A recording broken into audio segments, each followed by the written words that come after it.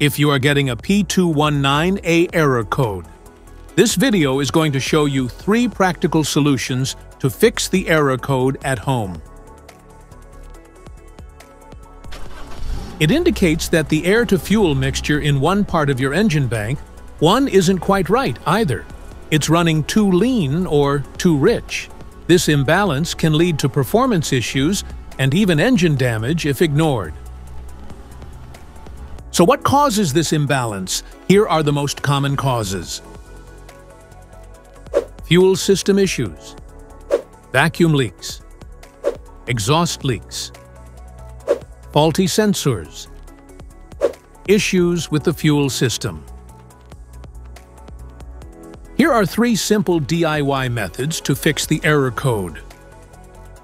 MAF sensor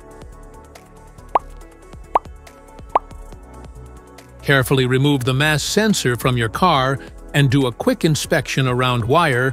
Inside often gets dirty and needs to be clean.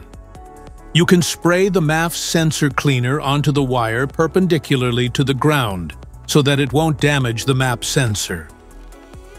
Reinstall the MAF sensor back in the car after it gets dry. Modify the oxygen sensor.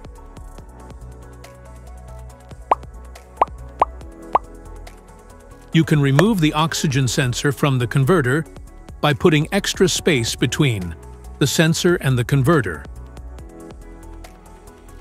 And now getting the spark plug non-fouler is now having enough space to fit into the oxygen sensor, and then use a half-inch drill to refit it. By doing this, put them together and put back on the catalytic converter. Oxygen sensor replacement. Carefully remove the oxygen sensor from the catalytic converter and visually check the oxygen sensor electrical connections, wire harness, and metal tabs for any damages. If damages are found, then replace the oxygen sensor. Method 3. Check the fuel injectors.